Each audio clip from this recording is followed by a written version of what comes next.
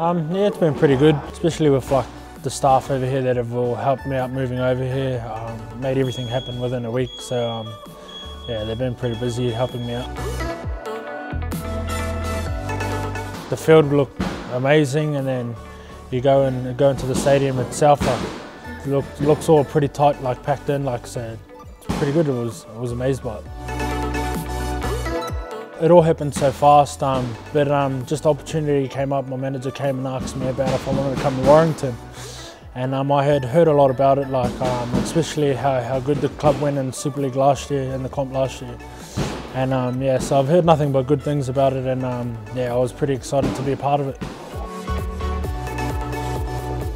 Because I was at Penrith, Michael Oldfield, he's been over uh, been over here. He's I think he's playing over in um, the Catalans. So um, I was, spoke to him about it. He said he enjoyed it, and he was saying that um, yeah, it would have been a good opportunity for me. And he he said that I'd enjoy, enjoy it here as well. But um, yeah, and saying that like um, just Jesse Sene-Lefao gave me a call. He's at the Tigers, um, Castleford, and he was just telling me how much he was enjoying it. So yeah, I spoke to them too about it, and it was pretty good.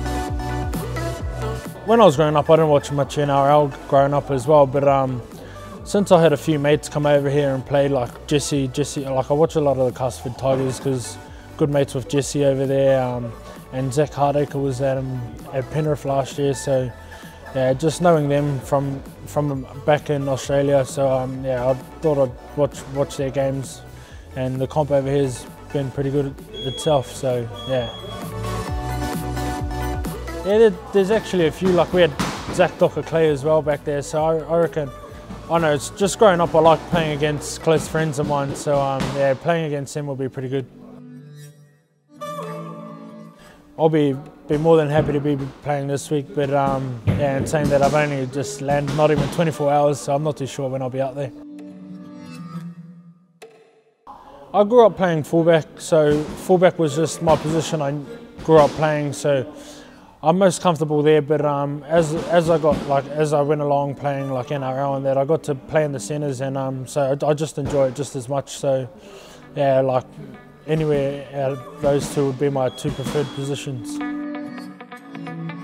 Yeah, like because it's so cold over here, something that'll be yeah like a roast or something like yeah, just something nice. It, it'd be good. Yeah, so there's been a few couple of players here that they were over there, and um, yeah, since I've been here, like they've been just talking to me how the move have been and how good it's been for them. But in saying that, like there's the other players here that they've been welcoming. They they haven't been shy to come introduce themselves to me, and um, yeah, just I suppose all the players have been been good. So yeah, looking forward to getting out there and playing alongside them. Um, yeah, well, I suppose it didn't help. I was up at like five, five, five o'clock this morning. Um, but yeah, come in to get tested like that, um, yeah, wouldn't say I'd be looking forward to doing it tomorrow.